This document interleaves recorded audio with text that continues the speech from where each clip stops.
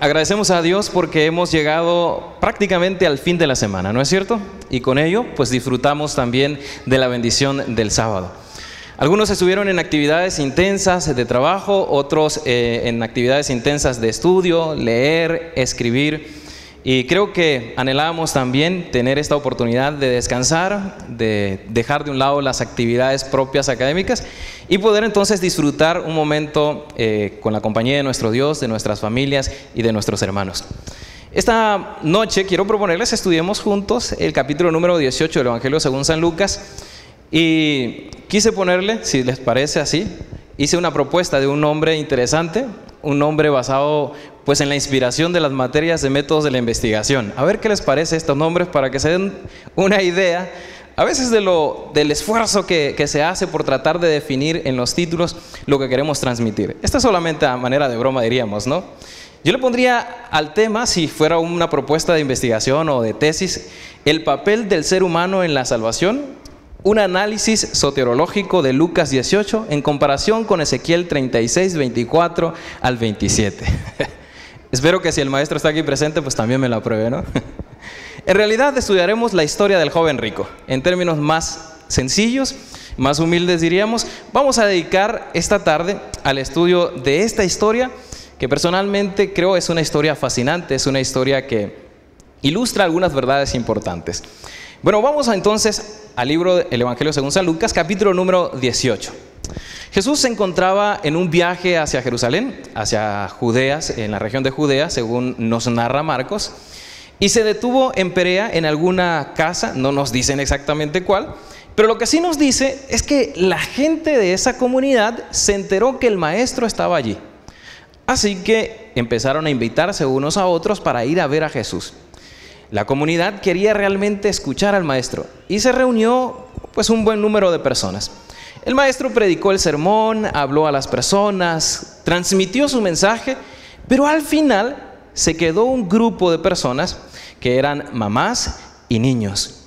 Deseaban que Jesús pudiera bendecir a sus hijos, que los sentara sobre sus rodillas, pusiera las manos sobre sus cabezas y declarara alguna bendición importante para ellos. Esa historia ustedes la conocen. Los discípulos, al ver la intención de las madres, se atravesaron en el camino, se opusieron a los niños y los reprendieron, dice el pasaje.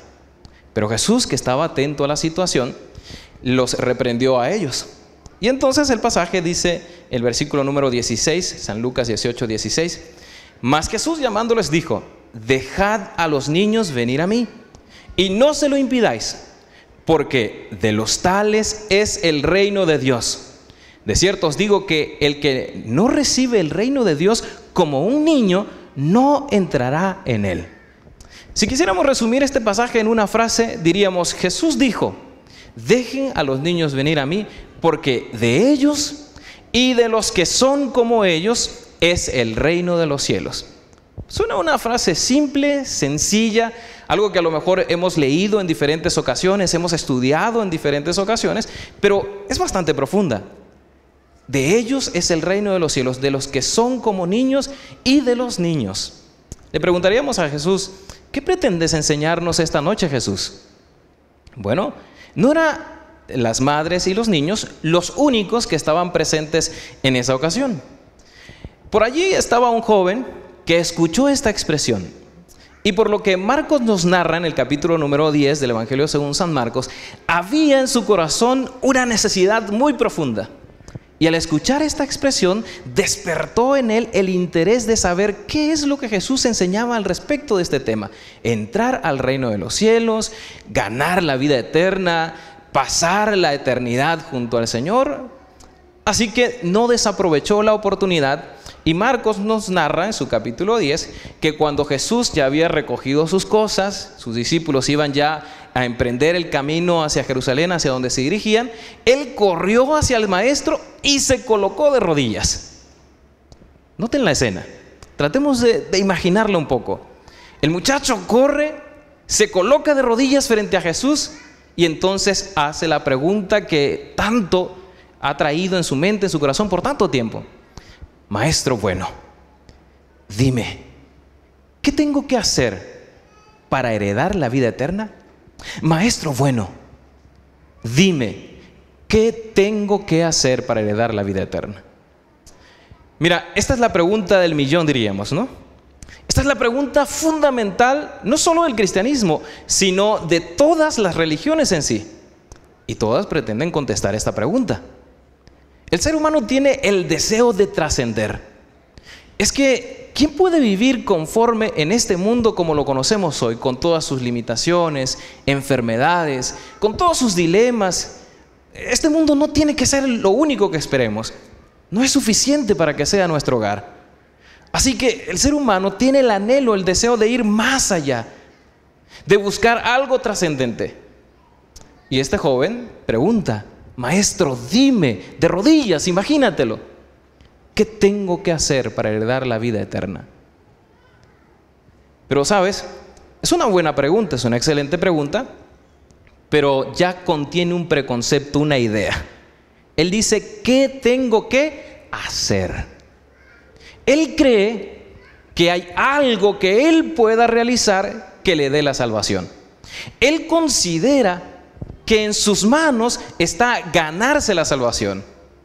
Maestro bueno, ¿qué tengo que hacer para ganarme la vida eterna, para entrar al reino de los cielos? ¿Qué es lo que Jesús va a contestar? Sigamos la historia esta noche. Versículo número 10. Jesús le dijo, ¿por qué me llamas bueno? Ninguno hay bueno sino solo quién? Solo Dios. Algunos pretenden y dicen, bueno, allí Jesús está declarando que Él no era perfecto como Dios porque solo hay uno bueno y ese es Dios. Pero más allá de esa interpretación que en realidad no es correcta, Jesús lo que está tratando de transmitir es, bueno, ¿consideras que solamente soy un maestro? Porque el papel de Jesús en la salvación es fundamental. No es simplemente un maestro, es la esencia de la salvación. Pero Jesús confronta las ideas de este joven al decirle, mira, nadie hay bueno sino solamente Dios. Por lo tanto, si tú consideras que puedo aportar algo, que puedo ayudarte en ese camino de la salvación, la única forma es reconocer no solamente un maestro bueno en la persona de Jesús, sino que también sea Dios. Quiero poner el énfasis esta noche en esta historia, pero en un aspecto mucho más importante, más allá de este joven, sino en los discípulos. Así que en este momento de la historia les pido, nos concentremos no tanto en el joven, sino en los discípulos que ya estaban con la mochila al hombro, listos para salir. Y entonces comienza esta conversación con Jesús entre el joven rico como le conocemos y deciden pararse un momento y están contemplando, Ponte en el papel de ellos, siéntate con ellos a lo mejor o quédate a un lado de ellos. ¿Qué es lo que están escuchando? ¿Cómo están percibiendo eso? El joven llega, maestro, dime cómo me gano el reino de los cielos. Jesús le dice, ¿me llamas bueno? Solo bueno, bueno solamente hay uno, ese es Dios. Y ahora continúa la conversación. ¿Los mandamientos te lo sabes? ¿Mandamientos? Ah, claro. No matarás, no robarás, no hurtarás. Todo eso, dice el joven, lo he guardado desde mi juventud, desde que soy niño. Desde chiquito lo he guardado. ¿Mandamientos? Bueno, Jesús le dice, si quieres ser perfecto, versículo número 22, entonces te falta una cosa. A un paso de la salvación, una cosa. La pregunta es, ¿pero qué? Jesús contesta, vende todo lo que tienes, entrégalo a los pobres, tendrás tesoros en el cielo y entonces ven y sígueme. Una cosa sonaría como, te falta un paso, pero en realidad no se trata de una cosa que él tendría que hacer, sino de una serie de pasos. Si revisamos con mayor detenimiento el pasaje, vamos a notar ahí varios verbos que indican acciones que Dios le pedía realizar a este joven. ¿Cuál sería la primera? Él dice, vende todo lo que tienes, ¿verdad? Primer paso, primer, ah, primer verbo que aparece allí. Segundo, dalo a los pobres. Y tercero, tendrás tesoro en el cielo. Tendrás. Ahora ven y sígueme. Pareciera sencillo, pero pregunto, si este joven hubiera vendido todo lo que tenía, pero hubiera dicho con Jesús nada, yo no quiero seguir a ese Jesús, ni andar detrás de él, ni en los caminos polvorientos, no, no, no, no, estoy dispuesto a ayudar a la gente, yo soy una persona humanista, yo quiero ayudar a los demás, yo quiero servir a otros, pero religión, nada. La pregunta es, ¿entraría al reino de los cielos según la respuesta de Jesús? Pues parece que no. Bueno, vendió todo lo que tenía, lo entregó a los pobres, llegó hasta Jesús. Pero como Judas no se comprometió con el maestro y entonces no le siguió. Es decir, sí iba con él, pero no estaba comprometido con él. Ah, ¿Se salvaría? Parece que no, según la, la respuesta de Jesús. El versículo número 23 nos dice, entonces él, cuando escuchó esto, se puso muy triste porque era muy rico. Al ver Jesús que se había entristecido mucho, dijo, cuán difícilmente entrará en el reino de Dios los que tienen riquezas. Estamos en el lugar de los discípulos, ¿verdad? Estamos parados junto a ellos. Este joven llegó de rodillas, pero ahora se levanta, se da la vuelta y le da la espalda a Jesús. Esto es literal. Esto no es nada más una emoción o un sentimiento que él experimentó.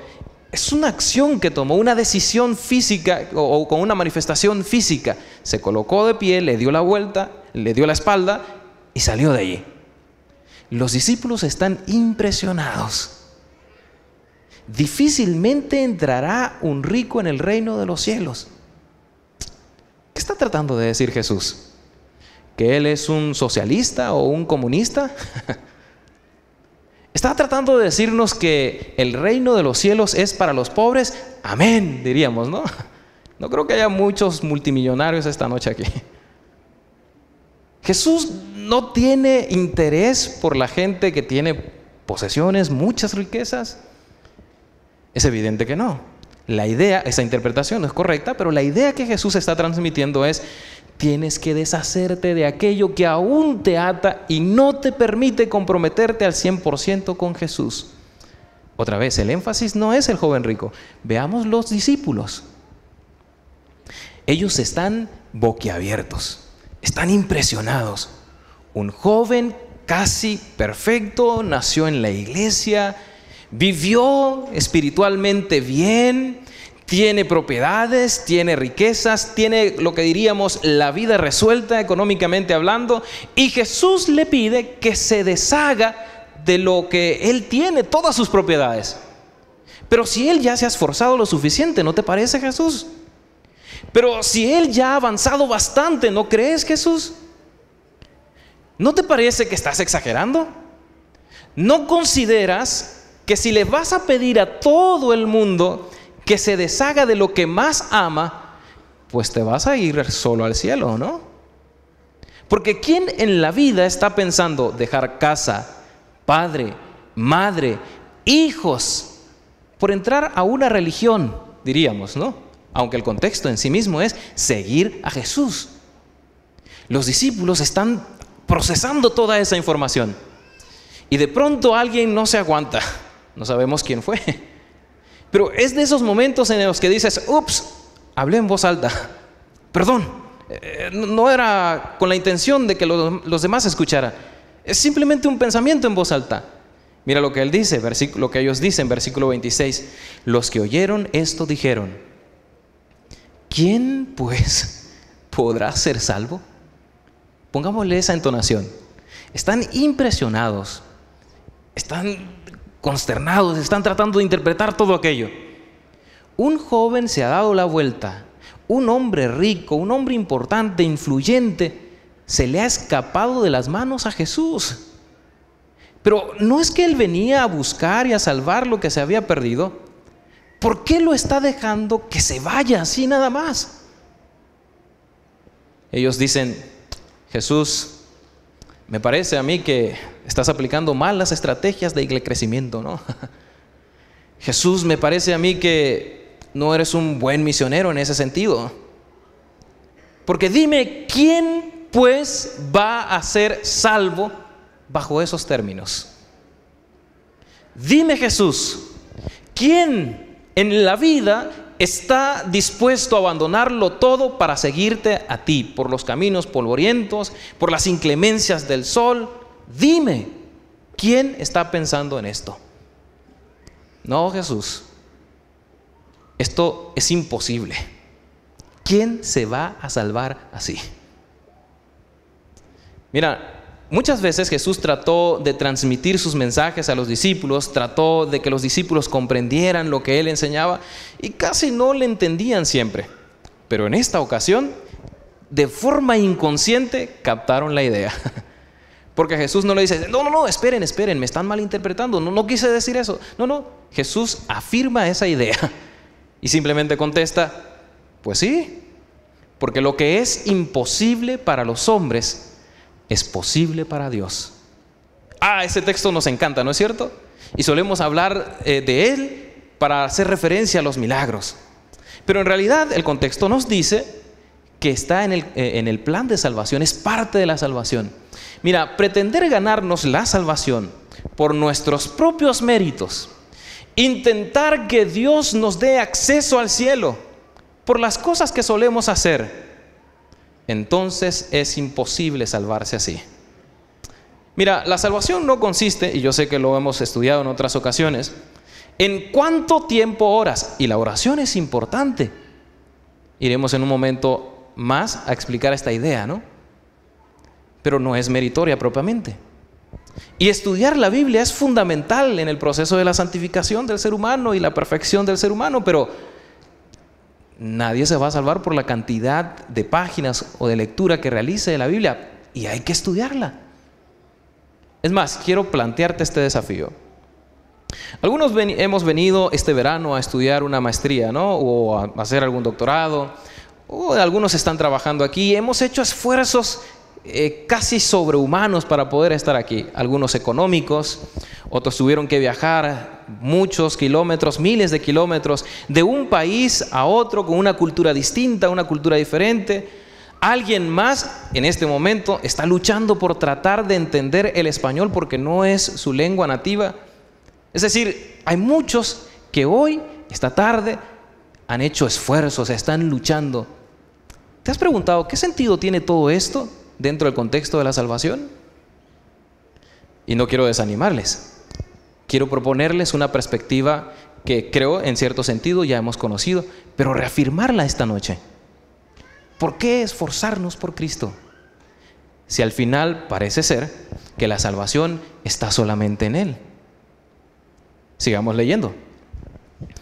Él les dijo, lo que es imposible para los hombres es posible para Dios. Volveremos a ese texto en un momento, versículo 28. Entonces Pedro dijo, he aquí, nosotros hemos dejado nuestras posesiones y te hemos seguido. Ay, Pedro, ¿no? Pedro. Si ustedes notan y leen con cuidado, no es una pregunta, ¿verdad? Pero en cierto sentido es un comentario como, a ver si lo escuchas Jesús y nos das una explicación de esto. Nosotros, Señor, pues lo hemos dejado todo. Te hemos seguido a estas alturas del ministerio nos vas a decir que difícilmente entraremos al reino de los cielos. No me digas que todos los esfuerzos que he realizado no han tenido el resultado que yo esperaba. Mira, Jesús, de verdad, a mí me ha costado estar aquí. Entonces, de algo me tiene que servir. Dime, lo hemos dejado todo. Te pregunto, ¿Pedro realmente lo dejó todo para seguir a Jesús? ¿Qué dejaría Pedro que él haga referencia en este momento con Jesús? ¿Qué es lo que dejaría él? La Biblia dice, él era un pescador, ¿verdad? Los pescadores suelen ir por las tardes a pescar toda la noche, regresan por la mañana, lavan sus redes, especialmente ahí en Galilea. Y un día, Pedro, que era un pescador, su papá posiblemente también pescador, su abuelo pescador, lo que quiero decir es, no sabía hacer más que eso posiblemente, se encontró con Jesús. Jesús iba caminando por la playa, él ya había predicado en la región de Galilea y su fama se había extendido, dice el texto de la palabra de Dios. Pedro posiblemente había escuchado del maestro ya en algunas ocasiones. Y esa mañana Pedro, lavando sus redes, vio a Jesús. Jesús lo vio a él. Sus ojos se conectaron. y esta imagen es algo media romántica, ¿no? Y entonces leemos en el texto, Jesús le dijo, Pedro, sígueme. Y Pedro dejando las redes siguió a Jesús. Pero detrás de este romanticismo hay una vida real, práctica, ¿no? Pedro era casado, tenía esposa, posiblemente hijos. Esa mañana se fue con Jesús, muy posiblemente también. Caminó con Jesús, lo escuchó predicar, lo vio hacer milagros. Y por, y por la tarde regresó a casa. Como en aquella época pues no había teléfonos celulares, no sé cómo le hizo para mandar el mensaje a la esposa de que llegaría tarde o a lo mejor no le avisó. lo que sería terrible, ¿no? Esa tarde Pedro llegó a casa, llegó emocionado y compartió con su familia la decisión que tanto le había costado tomar porque es posible que en su mente ya traía esa intención. Le anunció a la esposa, he decidido dejar el trabajo Supongo que encontraste uno mejor. no. Voy a ser el discípulo de Jesús. Entonces supongo que te ofreció un buen sueldo. Pues la Biblia no nos dice algo así. Lo que quiero decir en otras palabras es seguir a Jesús. Para el caso de Pedro, no era algo simplemente romántico como a veces lo vemos. Realmente abandonó mucho, pero se atrevió. Ahora cuando él le dice esto al maestro, eh, nosotros lo hemos dejado todo, te hemos seguido. Es la intención de decirme, decirle, Señor, dime que esto ha valido la pena. Y Jesús le contesta, por supuesto que sí, Pedro. Versículo 29. Les dijo, de cierto, de cierto os digo, que no hay nadie que haya dejado casa, padres, hermanos, mujer, esto es serio, o hijos, por el reino de Dios, que no haya de recibir mucho más en este tiempo y en el siglo venidero la vida eterna. Ahora, ¿cómo es, funciona esto? Por un lado, no se trata de obras, pero por otro lado, bueno, sí, dejas todo y sigues a Jesús. Mira, déjame, si eres tan amable, llevarte en el, pasaje de la Biblia al libro de Ezequiel capítulo número 36 versículo 24 al 27. Libro de Ezequiel capítulo número 36 versículo 24 y 27. En este pasaje encontramos un resumen de lo que llamaríamos el plan de salvación. Estos textos, cada uno de ellos, nos presentan un aspecto de la salvación. Eh, algunos le han llamado la justificación, santificación, etcétera. Y leyéndolo con cuidado, son textos que se aplican muy bien también para nosotros. Por ejemplo, el versículo 24 dice, Ezequiel 36, 24, y os tomaré de las naciones y recogeré de todas las naciones y os traeré a vuestro país. Mira, esta es una tipología, obviamente, ¿no? Y la mayoría lo ha aplicado como Jesús te llama. Jesús te trae, el Dios es el que te trae hacia ti, hacia, hacia Él, perdón, hacia la Jerusalén, hacia el lugar donde Él mora. El ser humano nunca ha tenido la intención de buscar a Dios realmente. No es que un día te levantas, tocas la puerta de una persona y él dice, ah, te estaba esperando porque realmente tenía deseos de ir a una iglesia a conocer el Evangelio. Esos son milagros. Pero las personas normalmente no están esperando algo así. Pero cuando empieza el Espíritu de Dios a través de algún miembro de la iglesia, de algún folleto, de algún mensaje en radio, en televisión, comienza el corazón a sensibilizarse y siente ese deseo de ir al Señor. Es el Espíritu de Dios, porque Él es el que llama, Él es el que trae. Pero hay más.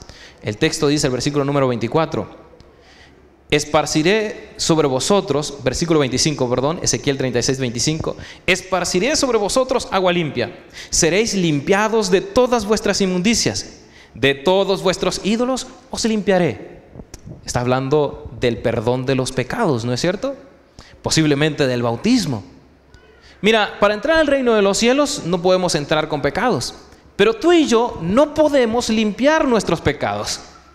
El único que lo puede hacer es Dios. Por eso Jesús decía o dijo, lo que es imposible para los hombres es posible para quién? Para Dios. Si quieres ganarte el cielo por tus propios medios, Entonces la respuesta a la pregunta de los discípulos, ¿quién pues podrá ser salvo? Es nadie. Bajo esos términos, nadie. Pero si lo intentas bajo los términos de Dios, entonces es posible. El texto dice también, versículo 26, os daré un corazón nuevo y pondré un espíritu nuevo dentro de vosotros. Quitaré de vuestra carne el corazón de piedra y os daré un corazón de carne. Mira, ah, la cultura oriental considera que el corazón es el asiento de las emociones, pero no nos vayamos tan lejos. Nosotros también en cierto sentido tenemos expresiones que le damos un lugar importante al corazón eh, dentro de las emociones. Por ejemplo, cuando le decimos a las personas, ¿sabes? Te amo, o a, la esposa o al esposo, te amo con todo el corazón. Y en realidad sabemos que esas funciones pertenecen al cerebro, aunque están conectadas también con el corazón. Solemos decir, es que esa persona es malo de corazón. Cuando Dios está diciendo transformar el corazón, está hablando de una transformación completa, de raíz profunda. El ser humano tiene un problema serio. Tenemos el mal habitando en nuestro corazón, insertado en nuestro sistema. Y tú y yo no podemos deshacer eso. La educación nos transforma, es cierto. La cultura puede ayudarnos, es cierto. Pero no puede cambiar la realidad más profunda del ser humano. Y mira, aun cuando en la, en la sociedad, en la política, por ejemplo, en el país, gobierne un partido u otro, la solución no se encontrará allí. Porque la necesidad más profunda del ser humano es la transformación que solo Dios puede realizar. Eso no lo puedes hacer tú, no lo puedo hacer yo. Es imposible para el hombre, pero es posible para Dios. Y por último, versículo 27. Pondré dentro de vosotros mi espíritu y haré que andéis en mis estatutos, guardéis mis preceptos, pero también que los pongáis por obra. Es el Espíritu de Dios impulsando las emociones, impulsando los actos, los deseos en el ser humano para que realice los sacrificios que Dios dice, tienes que realizar para seguirme. Es decir, todas esas cosas que solemos hacer, orar, estudiar la Biblia, entregar la décima parte de nuestros ingresos, compartir nuestra fe con los demás, etcétera, etcétera, no son más que el resultado del Espíritu trabajando en nuestro corazón como decía el apóstol San Pablo, el amor de Cristo motivándonos, constriñéndonos, diciéndonos, es que no hay otra forma de manifestar que realmente amas a Dios que obedeciéndole, que guardando sus mandamientos. Quiero plantearlo de otra forma. Lo hacemos no para ganar la salvación, sino porque agradecemos a Dios la salvación, porque amamos a Dios. Lo vamos a definir en términos más claros. Los adventistas del séptimo día, no estudiamos la Biblia un capítulo diario, ¿no? Más el año bíblico, más la matutina, más la lección de escuela sabática. Porque queremos ganarnos, ganarnos el cielo, sino porque amamos a Dios, ¿no es cierto?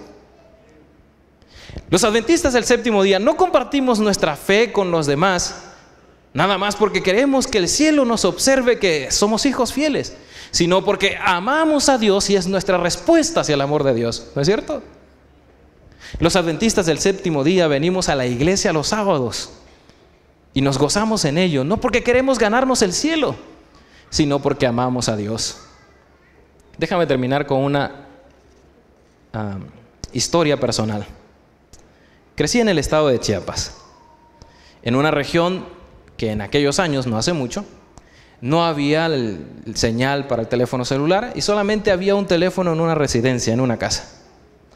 Así que cuando alguien del exterior quería comunicarse a nuestro pequeño mundo, pues llamaba a ese teléfono, le decía a, algún familiar, alguien que atendiera allí el teléfono, que quería platicar o hablar con fulano, y entonces alguien de la familia iba, llevaba el recado al fulano y él llegaba a la casa para esperar la llamada, ¿no? Algunos todavía les, eh, nos tocó esa, ese tipo de vida. Así que por lo menos yo aprendí, como la mayoría de la gente que vivió en esa zona, que las llamadas en teléfono celular son para asuntos muy urgentes, muy especiales. No sé, eh, estoy enfermo, por ejemplo, eh, fulanito está en el hospital, falleció alguien, necesito dinero, cualquier cosa, ¿no? Ah, cosas muy importantes. Entonces, cuando llegué a la universidad, conocí a quien ahora es mi esposa, Neri Flores, Y ella creció en una zona distinta, creció en Puebla, muy cerca, bueno, muy cerca de la ciudad de Puebla. Así que desde que tuvo acceso al celular, pues llamaba para lo que fuera, ¿no? De por sí las mujeres son bastante buenas en comunicarse. Así que se imaginan el dilema con el que nos enfrentamos cuando intentamos el noviazgo, ¿no? Ella me llamaba para lo que se les ocurriera. Si ya te levantaste, si ya desayunaste, si vas a venir o no vas a venir, si ya hiciste la tarea, en fin. Así que yo me sentía abrumado, pero yo no le llamaba para nada. Y ella se sentía que yo no tenía demasiado interés por ella. Y no funcionó durante un tiempo, así que terminamos. Pero yo la amaba, de verdad se los digo. Y dije, no puedo estar sin ella. Así que la intenté una vez más, pero estaba claro que necesitaba cambiar algunas actitudes no para que ella me amara, sino porque yo la amaba y la forma de estar con ella era que yo fuera lo suficientemente perfecto o agradable para ella. Y cambié algunas cosas. Pero ella también pasó por algo similar. Un día, estando en la escuela, me llamó. Yo me imaginé lo peor, alguien falleció, algún familiar necesita dinero, está enferma. Tomé el teléfono, salí del salón de clases Contesté, muy preocupado, y del otro lado ella me dice, ¿qué vestido quieres que me ponga? ¿Qué? ¿Qué vestido quieres que me ponga? Yo pensé que era una broma. ¿Vestido? ¿De qué me estás hablando? ¿Ahora me vas a pedir permiso para vestir? Resulta que en unos días más iba a haber una fiesta, le llamamos la recepción, ¿no? Y allí, eh, pues los muchachos llegan a cenar con las muchachas, algunos aprovechan para declararse y otros es su primera cita, ¿no? Y ese era nuestro, en ese momento, nuestro lugar. Íbamos a sentarnos juntos en una mesa, muy románticos. Era nuestra primera cena especial en ese evento juntos. Y estaba preocupada. Quería saber cómo verse atractiva, agradable. Pero para no regarla, para no equivocarse, entonces mejor preguntar, ¿qué vestido quieres que me ponga?